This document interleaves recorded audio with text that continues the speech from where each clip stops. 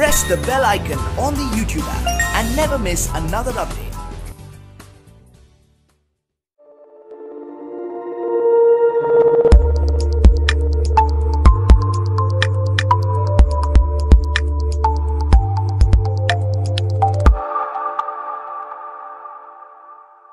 Hi viewers H simplified online training channel पर आप सबका एक बार फिर से स्वागत है व्यूअर्स आज के हमारे इस वीडियो का टॉपिक है supply air grill design requirements. आज के इस वीडियो में हम सप्लाई एयर ग्रिल्स के टाइप्स और इसे किस प्रकार से सिलेक्ट किया जाता है देखेंगे। तो चलिए सबसे पहले शुरू करते हैं। सप्लाई एयर ग्रिल्स के टाइप्स कितने होते हैं? Types of supply grill single deflection supply grill single deflection grill provides an air deflection in a vertical plane.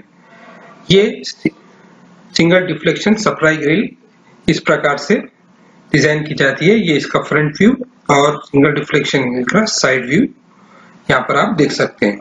क्योंकि ये एक ही एंगल पर है, इस तो इसीलिए इसे सिंगल डिफ्लेक्शन सप्लाई ग्रिल कहा जाता है। नेक्स्ट हमारी होती है single deflection supply grill with damper single deflection grill with an opposed blade damper provides an deflection in a vertical plane. यहाँ पर उसी सिंगल डिफ्लेक्शन सप्लाई ग्रिल को हमने यहाँ पर एक अपोज ब्लेड डैम्पर्स अटैच किया गया तो ये विद डैम्पर और विदाउट डैम्पर पे single deflection supply grills design किए जाते हैं। Double deflection supply air grill यहाँ पर आप देख सकते हैं कि a single deflection a sorry double deflection supply grill provide a deflection on both horizontal और वर्टिकल प्लेन्स तो यहाँ पर आप देख सकते हैं, यहाँ पर दो डिफ्लेक्शन दिए ये vertical and this one is horizontal तो यहाँ पर आप वर्टिकल और हॉरिजॉन्टल दोनों तरीके से डबल डिफ्लेक्शन इसे कर सकते हैं।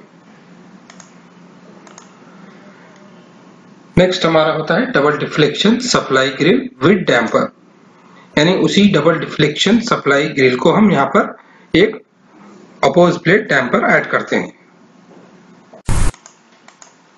Single deflection horizontal supply grill A single deflection grill provides air deflection in a horizontal plane. ये सप्लाई ग्रिल हॉरिजॉन्टल के लिए हॉरिजॉन्टल प्लेन के लिए इस्तेमाल की जाती है। Single deflection supply grill with damper यानी उसी सिंगल डिफ्लेक्शन सप्लाई ग्रिल को हम एक अपोज प्लेट डैम्पर से कनेक्ट करते हैं। ये दो प्रकार में, ये भी दो प्रकार में आते हैं। एक विदाउट डैम्पर एक विद डैम्पर नेक्स्ट हमारी होती है डबल डिफ्लेक्शन सप्लाई ग्रिल यहाँ पर आप देख सकते हैं, ये double deflection grill provides air deflection in both horizontal and vertical direction तो ये हमारी double deflection one and two double deflection horizontal and vertical supply grill होती है। Next double deflection supply grill with damper उसी double deflection grill with an opposed blade damper provides an air deflection in both horizontal and vertical planes.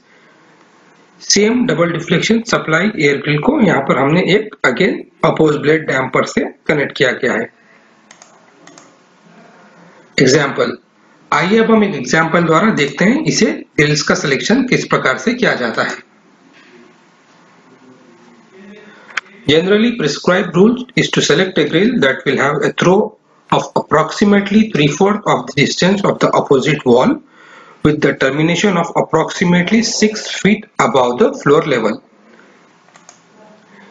इसका मतलब ये है कि generally जो supply air grill का थ्रो होता है, वो मैक्सिमम जो डिस्टेंस होता है अपोजिट वॉल का, उस अपोजिट वॉल के मैक्सिमम डिस्टेंस का थ्री फोर्थ डिस्टेंस लेंथ होनी चाहिए किसी भी सप्लाई एयर ग्रिल के थ्रो के लिए और उसकी मैक्सिमम जो हाइट होनी चाहिए थ्रो की सिक्स फीट होनी हाइट होनी चाहिए फ्रॉम द फ्लोर लेवल तो ये पैरामीटर को कंसिडर करते हुए हमें इसको सेलेक्ट करना होता है। और ये हमारा ड्रॉप होता है, जो सिक्स फीट पे, जो एयर फ्लो का ड्रॉप जिसे ड्रॉप कहते हैं।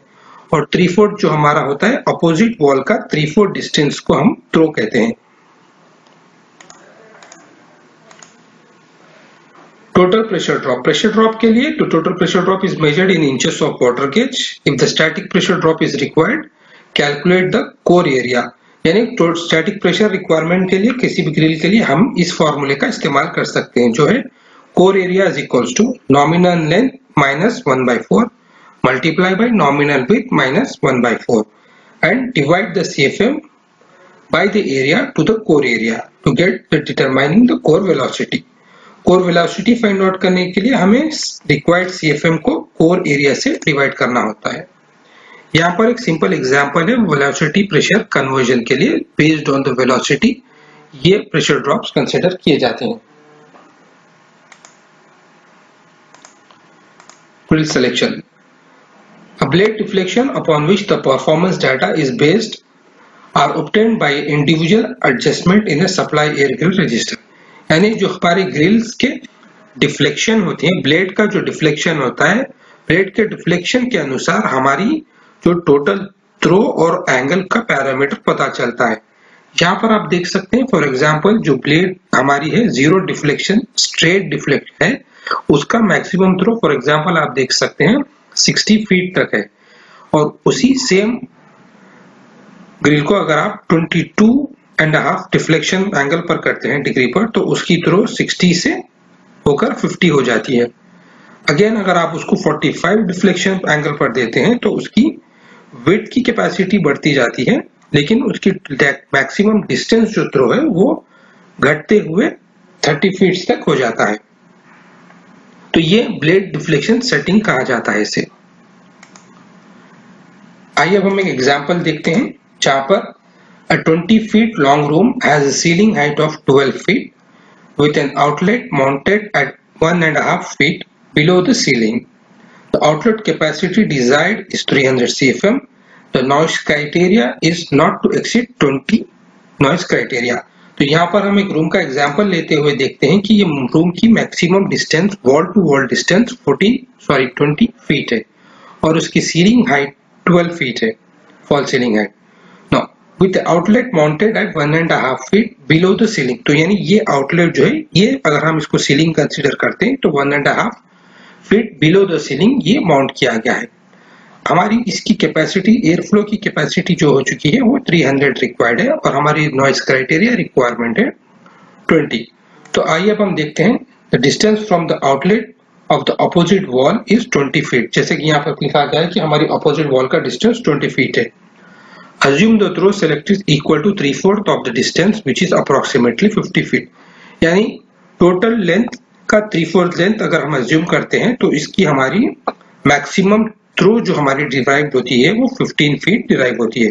तो इसके बेसिस पे हमें, इन पैरामीटर्स के बेसिस पे हमें सिलेक्शन करना होता है।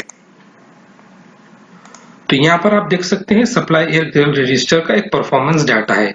यूजुअली परफॉर्मेंस डाटा आपको मैन्युफैक्चरर के थ्रू प्रोवाइड किया जाता है depending on your city location आप किसी भी मैन्युफैक्चरर जो आप सेलेक्ट करना चाहते हैं डिज़ाइनिंग के टाइम पर आपको उसी मैन्युफैक्चरर डाटा को लेते हुए इन सिलेक्शन को करना होता है।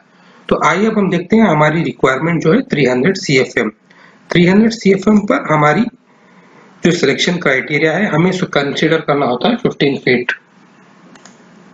तो 11 टू 15 फीट यहाँ पर आप देख सकते हैं और इसकी नॉइस क्राइटेरिया जो है लेस देन 20 है। तो इसके अनुसार आप देख सकते हैं, हमें इन साइज़ को कंसिडर करना होता है, जो कि 20 by six twelve by ten thirty by four और ट्वेंटी फोर बाई फाइव। ये एक डिज़ाइन, डिजाइड क्राइटेरिया है साइज़ के, साइजेस के लिए सप्लाई के लिए। तो आपकी बिल्डिंग के, रूम के रिक्वायरमेंट के अनुसार आपको ये चेक करना होता है कि किस टाइप की ग्रिल आप वहाँ पर फिक्स कर सकते हैं।